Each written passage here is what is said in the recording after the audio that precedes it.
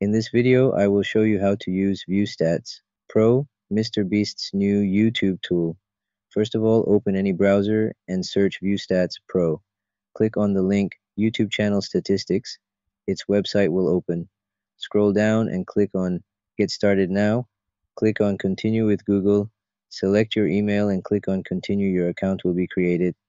At the left side, you will find different tools. The first one is Alerts. Click on it and you will find a video about its details, as it's the free version so you can't get access to its features. You can just have an overview of what's going to be in the premium version of ViewStats Pro. The more tools are Outliers, Thumbnail Search, A-B tests, and Collections. After going through all the sections, go to the home page from the top left corner. On the home page, scroll down and you will see a brief overview of the ViewStats Pro tools.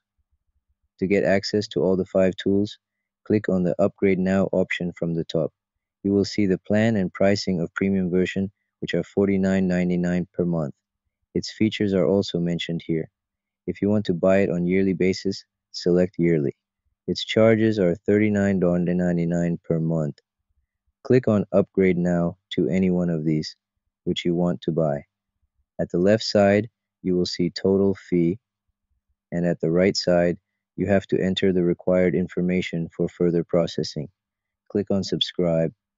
Then your ViewStats Pro features will be unlocked and you will be able to access them all.